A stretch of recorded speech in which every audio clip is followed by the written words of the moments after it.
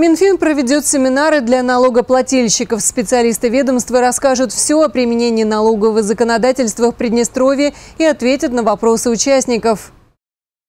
27 июня семинар пройдет в онлайн-формате на платформе Zoom. Начало в 14.00. Ссылка на семинар появится на сайте Минфина в день его проведения. 28 июня конференции пройдут в городах республики. Их проведут территориальные налоговые инспекции.